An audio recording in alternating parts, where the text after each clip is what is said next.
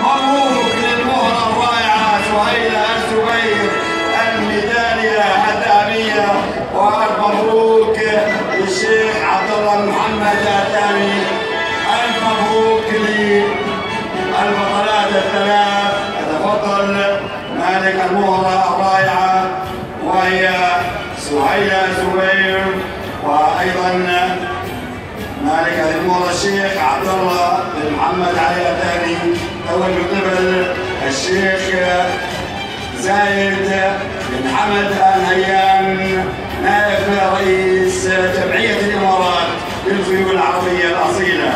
أما الميدالية الفضية ذهبت للمربي الرائع دكتور غانم الهاجري له منا كل التحية والتقدير. الميدالية الفضية مبروك دكتور مبروك توجه من جبل الشيخ زايد بن حمد الهيان